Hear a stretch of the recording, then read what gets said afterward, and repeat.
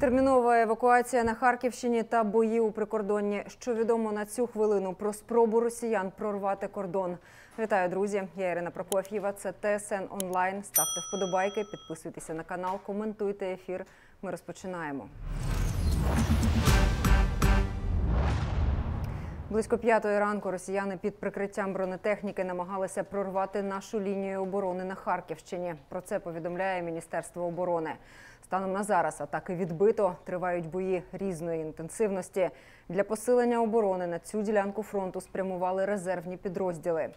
Водночас аналітики Deep State повідомляють, що на півночі Харківщині в районі селищ Муроховець та Олійникове на дорозі з прикордонного пильного наші оборонці знищили щонайменше три одиниці ворожої техніки.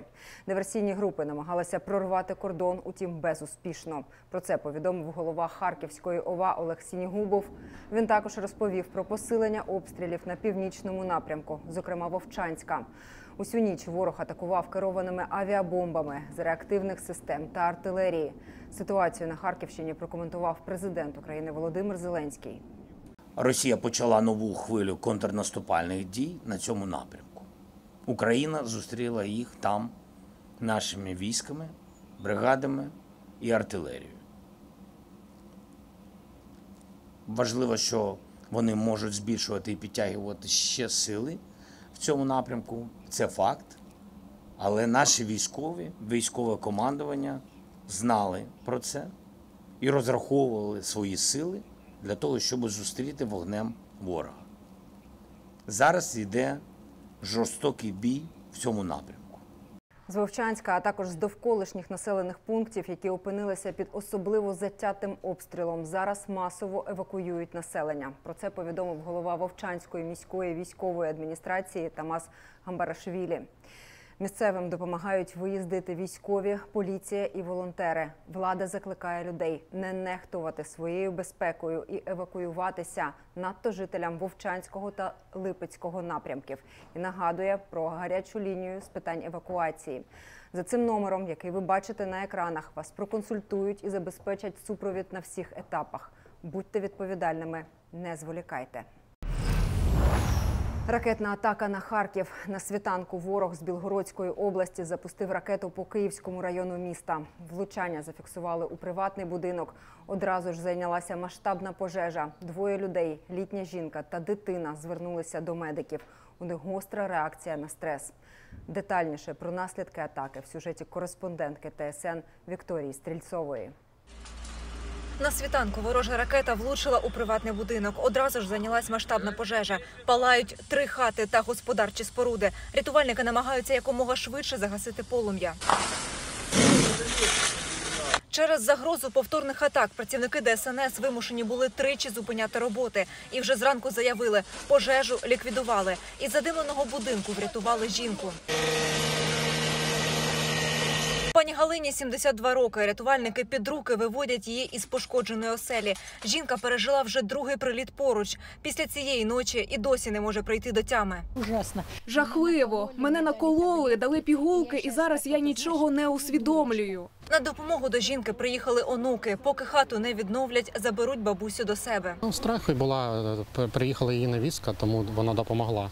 І на, на ну, наразі вона теж в такому страху. І це вже за останню неділю другий прильот. Це Київський район міста. Сюди регулярно прилітали ворожі ракети та авіабомби. Люди з побитих будинків ще напередодні звідси евакуювалися. Це і зберегло їм життя. Удар наносили е, ракети з території Білгородської області. Скоріше все, це С-400. Є певні там характеристики залишків ракет, які про це свідчать. Під час вибуху тілесні ушкодження отримали дві особи: це 11-річна дівчинка та е, е, 72-річна жінка. А В них легкі тілесні ушкодження, гостра реакція на стрес. Понад два десятки будинків пошкодило вибуховою хвилею. Пообривало лінії електропередач, побило дахи та вікна. На допомогу приїхали волонтери, працюють комунальні служби. А до місця влучання сходяться люди подивитися на наслідки пекельної ночі і діляться пережитими жахами. Почула е, спочатку, коли летіла ракета, вона дуже гучно летіла, як істребітель. І через буквально секунду вже був дуже гучний вибух. Е, Кровать підпригнула, діти підпригнули. У нас дві дитини, вісім і два рочки, і всі перелякані. Спав мене в- на кроваті Я спав, мене на ліжку підкинуло, і люстра задзвеніла, і усі витяжки. Все вилетіло в кімнату. Оце такий удар був. Хвиля така, що я підскочив, і навіть каналізаційний люк і той підскочив. Частина вулиці після атаки без світла. Від ранку на місці працювали енергетики, відновлювали пошкоджені лінії електропередач. До ночі обіцяють заживити вцілілі будинки. Вікторія Стрельцова, Олексій Бугаєнко, Харків, ТСН 1+,1. Найближчим часом Росія посилить повітряні і наземні атаки на Україну. Про це з посиланням на розвідку повідомляє американське видання CNN. Вдаватися до такого кроку Кремль нібито буде, щоб скористатися моментом, поки наша армія не встигла отримати достатньо зброї з пакету американської допомоги. У Вашингтоні визнають, місяці затримок призвели до реальних втрат українських сил на полі бою і людей, і територій. А найближчою загрозою зараз називають масштабний наступ на початку літа. Тим часом публічно американська сторона вже анонсувала постачання нових партій військової допомоги. Найближчими тижнями у держдепі США кажуть, що роблять усе, щоб в їхніх силах, аби Україна могла міцно стояти на ногах. Тоді як у Пентагоні працюють над тим, щоб завадити росіянам використовувати супутникові інтернет-термінали Starlink на території України. Посадовці відмовляються ділитися публічно, які тактики для цього задіяли, але мова йде цитую про хороші рішення, які знайшли спільно з компанією Starlink, що належить Ілону Маску та Україною. Німеччина купить для України ще три ракетні системи Хаймарс. Придбає їх з американських складів, щоб українці могли ефективно боротися з російським вторгненням. Про це заявив міністр оборони Німеччини Борис Пісторіус під час зустрічі у Вашингтоні з главою Пентагону Ллойдом Остіном. За словами німецького міністра, НАТО має підтримати Україну. Якщо цього не станеться, то можливий успіх Путіна розв'яже руки автократам по всьому світу, наголосив Борис Пісторіус. Ми надішлемо Україні три пускові установки Хаймарс у співпраці з американцями. Ці установки перебувають на складах США, і ми їх оплатимо. Ми також маємо рішуче підтвердити важливість НАТО та європейських партнерів, коли йдеться про підтримку України. Яке значення і яку небезпеку несе напад Путіна на Україну для безпеки Європи та світу? Повторюся знову, як це вплине на інших автократів у світі, якщо Путін виграє цю війну. Любіть маму, їжте кашу, любіть Україну. У Вінниці на стадіоні лунала уже легендарна фраза полеглого азовця Назарія Гринцевича на псевдогрінка. Місто прощається із 21-річним воїном, який загинув у бою. Сотні людей прийшли віддати йому шану у центральному соборі, а потім на стадіоні. Адже Назар був палким вболівальником місцевого футбольного клубу Нива. До полку Азов Грінка приєднався, щойно досяг 18-річчя і був наймолодшим захисником Азовсталі. Три місяці з побратимами тримав оборону і ще чотири місяці був у полоні. А після звільнення повернувся на фронт, щоб помститися за полеглих побратимів і стати прикладом для багатьох бійців. Поховають героя на алеї слави у Вінниці. Любіть маму, їжте кашу і любіть Україну. Да, це в цьому весь Назар. Це людина, е, приклад справжнього українця, справжнього патріота і справжньої, справжньої ідеї нації, от дійсно, справжнього азовця. І він дуже дійсно щиро любив Україну, дуже хотів, щоб було краще в ній, набагато краще. Не так, як зараз. І не так, як було до цієї війни. Він дуже хотів змінити Україну цю. Вічна слава герою! Свої співчуття рідним обов'язково пишіть у коментарях до цього ефіру на Ютубі. Ваша підтримка важлива. Я ж тим часом продовжую випуск ТСН онлайн. Цькування та побиття курсантів. Тимчасова слідча комісія Верховної Ради України виявила ряд порушень у Національній академії сухопутних військ гетьмана Петра Сагайдачного у Львові. Сьогодні на засідання комісії викликали керівництво академії, проте ректор генерал Ткачук не приїхав, посилаючись на хворобу. За нього ситуацію пояснювали заступники.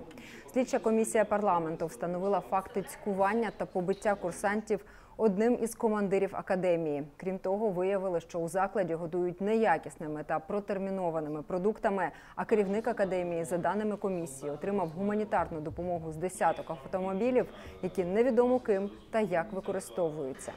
Скандал розгорівся після того, як старший солдат Попович публічно заявив про порушення прав курсантів.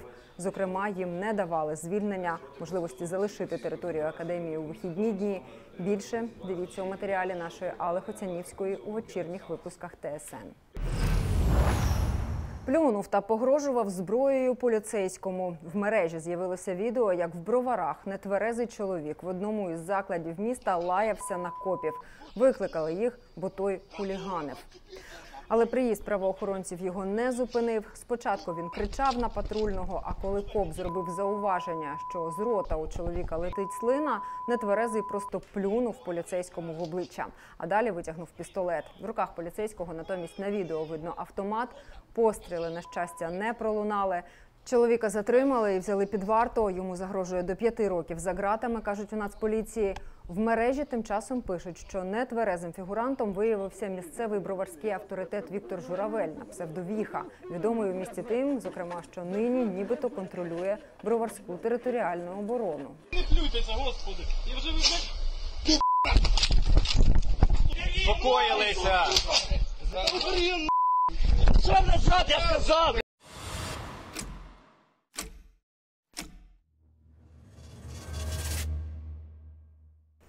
І просто зараз, в ці хвилини, в Мальме триває генеральний прогін великого фіналу Євробачення 2024.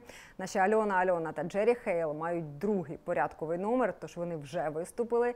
І цей номер на власні очі бачив кореспондент ТСН Дмитро Фурдак. І просто зараз поділиться враженнями. Просто зараз ви бачите перший генеральний прогін великого фіналу Євробачення 2024. Їх до прямого ефіру в суботу буде ще два, але це єдиний, на який пускають журналістів. Тож зараз можна бачити унікальні кадри, як готується сцена до номеру наших представниць, і власне сам виступ. Альона Альона і Джері Хейл виступатимуть під номером 2. Багато хто вважає такий ранній старт невдалим, адже глядачі мають тенденцію голосувати за більш пізні номери. Але є позитивний аспект. Уперше голосування аудиторії розпочнеться не після всіх номерів, а з самого початку фіналу. Традиційно з українських номерів підтримати наших представниць не можна. А от наші друзі за кордоном цілком можуть голосувати за Україну на Євробаченні. Фаворитом на перемогу серед букмекерів є представник Хорватії. Дмитро Фордак, Олександр Шиян зі Швеції, ТСН 1+,1. На Євробаченні почули і про невелике українське село Велика Костромка. Адже на відбудову його зруйнованої росіянами гімназії збирають кошти наші учасниці пісенного конкурсу Альона Альона та Джері Хейл. Що означають ключі, якими співачки прикрасили своє вбрання, і як реагують на таку підтримку жителі Великої Костромки? Кореспондентка ТСН Анастасія Невірна розкаже. По гімназії у Великій Костромці прилетіло у жовтні 22-го. Повністю зруйнувало спортивний зал, пошкодило й інші приміщення. Відтоді діти вже звикли гратись поруч із руїнами школи, бо відновити її зараз немає можливості. Фронт лише за 20 кілометрів звідси. Завали розтрощеної спортивної зали та класів поки не розібрали. Педагоги з учнями та батьками змогли розчистити тільки більш-менш вцілілі приміщення. По гімназії ворог гатив з усіх видів зброї. Навчальний заклад тричі піддавався обстрілам. Перший артилерійський обстріл був у серпні місяці. Потім після нього було ракетне влучання неподалік навчального закладу. І ось пряме влучання. Директорка пані Ольга веде показати, що лишилось від молодшої школи. Обережно, бо тут дуже нас небезпечно. Де ми стоїмо, це був четвертий клас. Навпроти, де тільки залишилося проваля, це був третій клас. Такий величезний удар і зруйнував нам всі чотири класи, всю нашу початкову школу. Знищені і більшість меблів та устаткування дивом, зачепившись за стіну, висять шафка з підручниками та батарея. Були спортивні зони, були зони відпочинку. Все, нічого не збереглося. Валерія з Надією цьогорічні випускниці сидять у напівтемряві актової зали. На сцені тут досі декорації з вистави, яку учні готували ще до повномасштабного вторгнення. Як було до війни, так воно сталося. Ніхто тут не вбирався. Спортзал це для мене прям щось нев- невероятне було. Хотілося, бігали, волейбол, був футбол. Дуже часто на нього ходила. Дуже жалко дивитися на руїни. На відбудову гімназії треба щонайменше 70 мільйонів гривень. У бюджеті таких коштів немає, тож шукають інвесторів. Дуже багато з'являється закордонних інвесторів, які готові допомагати. І зараз в процесі йдуть підготовка документів, прорахунки щодо можливих відновлень. Учасниці Євробачення Альона Альона та Джері Хейл спільно з платформою United 24 теж оголосили збір на відбудову Великокостромської гімназії. Ми збираємо 250 тисяч доларів, і це лише частка грошей, які потрібні для відбудови цієї школи. Ми в Україні точно знаємо, що маленьких донатів не буває.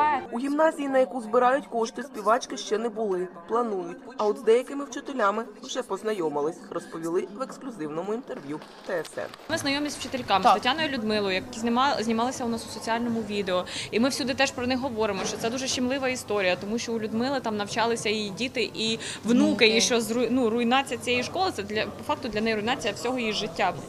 Пані Тетяна, одна з цих вчительок, розповідає, одяг учасниць Євробачення прикрашений ключами, якими символічно мають відкрити відбудовану гімназію. У них такі були футболки з ключиками. Ось і вони створили.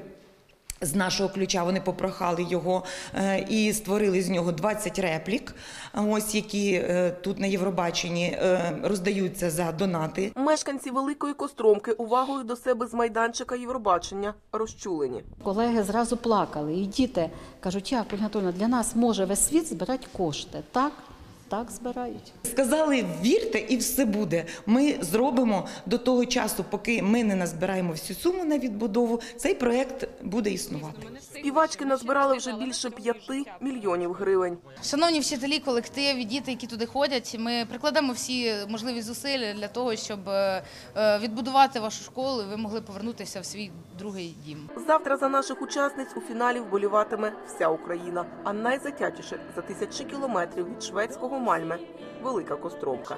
Дивитись виступ тут будуть усією громадою. Анастасія Невірна, Владислав Комишин, Дніпропетровщина, ТСН 1+,1.